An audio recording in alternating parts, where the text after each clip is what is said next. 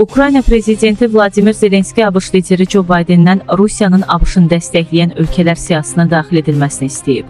Yeniyavaz.com xəbər verir ki, bu barədə Washington Post məlumat yayıb.